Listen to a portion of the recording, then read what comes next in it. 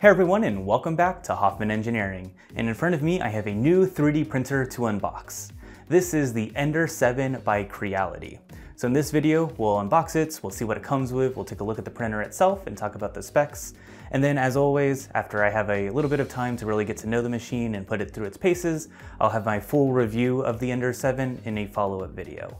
But in this one, we'll unbox it and take a look at it. Uh, this Ender 7 was graciously sent to me by Creality3D.shop, which is an online retailer of Creality 3D printers and accessories. So if you're interested in the machine and want to go know a little bit more information about it, I have a link in the description down below to Creality3D.shop.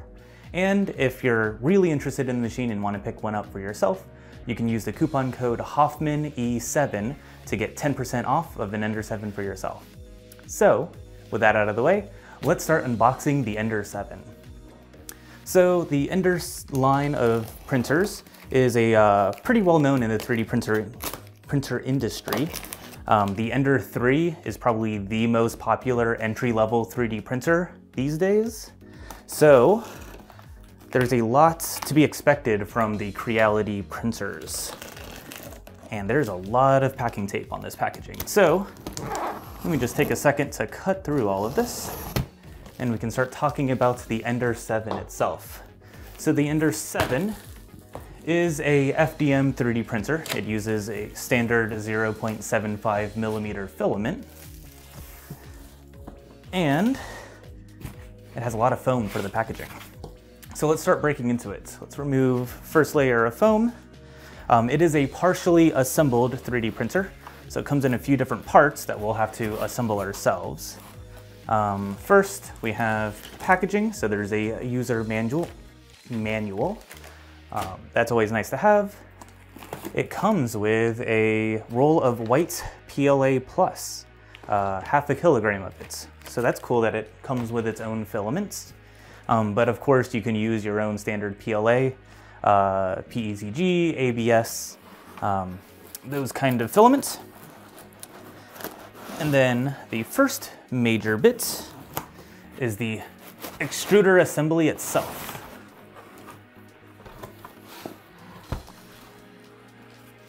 There we go.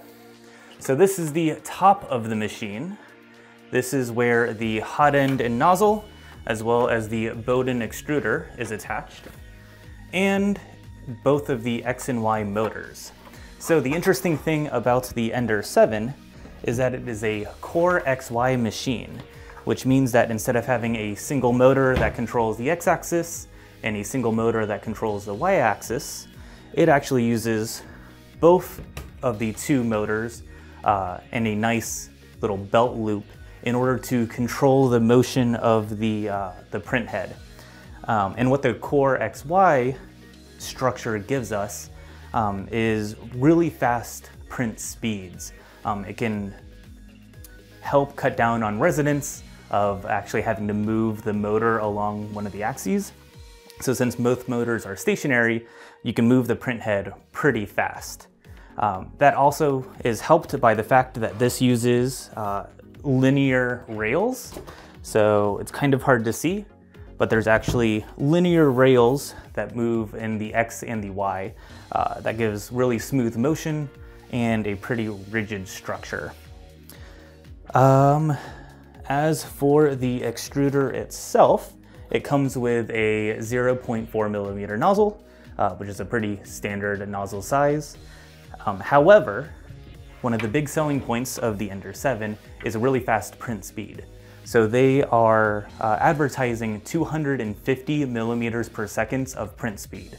So for instance, uh, most of these printers behind me, they'll be about, you know, anywhere between 50 millimeters to maybe 70 or 100 millimeters per second. So if this reaches the advertised 250 millimeter print, millimeter per second print speed, that is a big boost. Uh, so I can't wait to actually put that to the test and see if it can reach those kinds of speeds. Let me put this down and we will get to the rest of it. Um, that looks actually be bolted there. So let me grab a bit of the packaging to prop it up on. Okay, let's continue. Um, they have a box that contains a bunch of accessories. So we have a USB as well as a micro SD card. Um, so you can print both, you know, connecting up to a USB drive, or you can connect it up to your computer via the USB ports. Um, or it also has an SD card slots uh, for you to upload files. It comes with a couple of extra nozzles. It has the power cord. It has some tools. So all of the tools that would be needed to assemble the machine, because as you can tell, it is partially assembled, um, as well as a spool holder,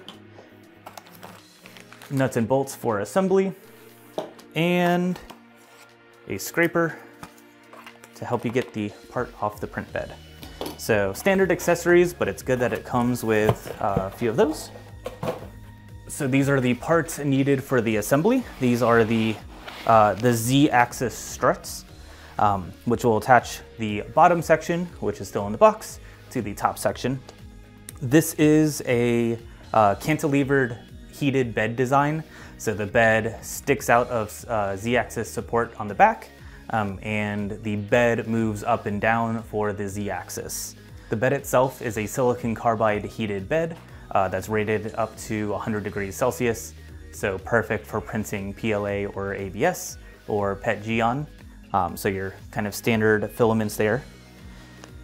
Uh, and yeah, that's what it looks like. These motors look pretty beefy, so that's exciting to see. And I'll put this down here.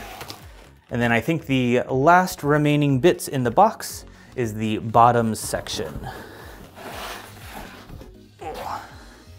And as you can tell, this is a pretty big printer.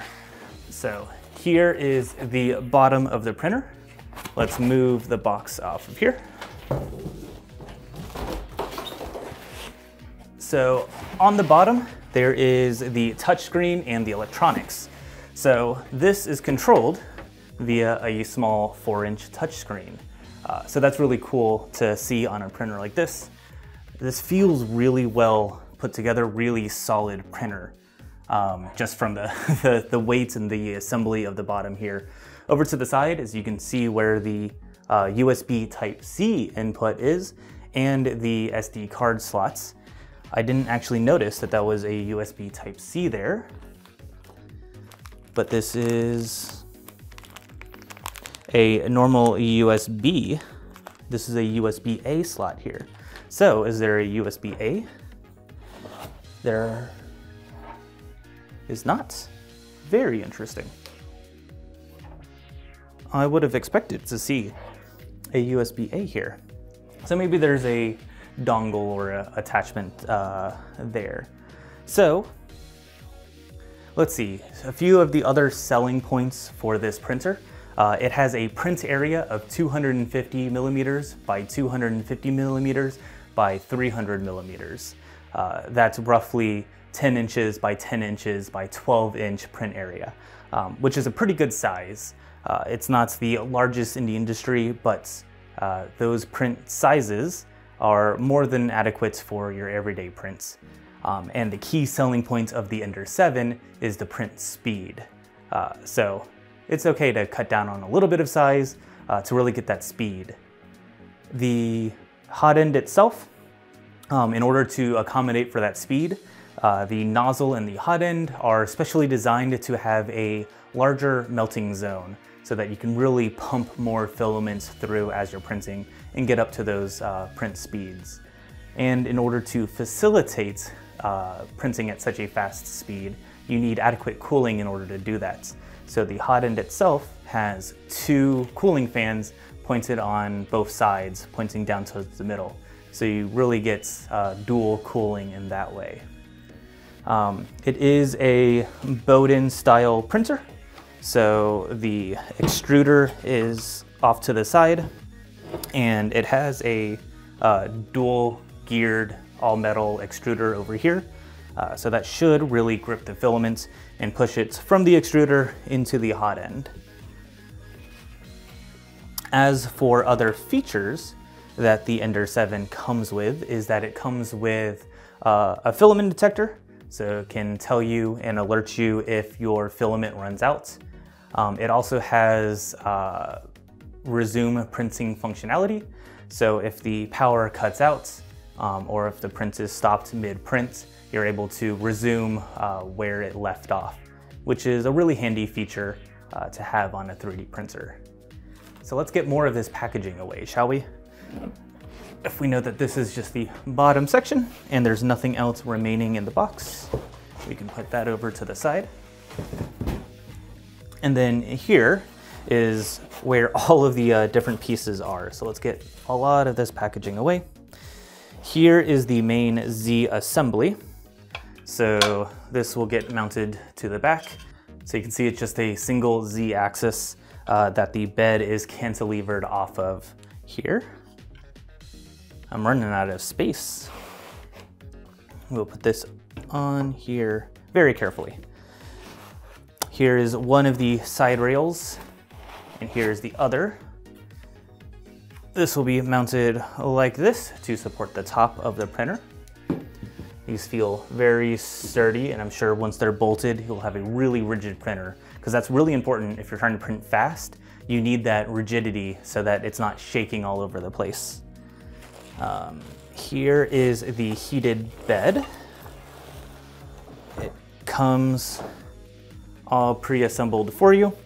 Um, there is no automatic bed leveling on the Ender 7, uh, but it has uh, four knobs on each of the, one knob on each of the corner, and it has a manual um, kind of leveling assist within the software itself where it can help you move the extruder or move the nozzle from corner to corner so that you can adjust the knob and it'll help you level the bed. The bed itself is their uh, silicon carbide glass bed. Should be pretty good to print on. A nice solid print surface there. Uh, and it is a 24 volt print bed. So should heat up pretty quick. We'll be sure to test that during the review, see how quick it heats up. It should be more than good to print your standard filaments there. We'll set that over here. And anything else there's a couple of brackets and another brackets. I'll put those off to the side. And I think that's it for the packaging. So that is a very, very quick and very simple unboxing. You know it's a good 3D printer when it's like that. Uh, since it only looks like it's, you know, four major parts, uh, you have the bottom, the bed assembly, and the top section. Uh, I don't expect assembly to take much, if at all, any time um, to really get it up and running, but I guess we'll find that out during the review. So, thank you all for joining me on this unboxing. It was a really quick one. I am excited to try out the Ender 7. If you have any questions, leave them in the comments down below. I'll be happy to answer them. If you want to find out more information about the Ender 7 itself, you can check the link to creality3d.shop in the description down below. And if you have anything specific you would like for me to test during my review of the Ender 7, also leave that down in the comments. Uh, so, thank you all for watching. I'm excited to try out the Ender 7, and I hope you're excited for the follow-up review. So, thank you all for watching. I'll see you all next time.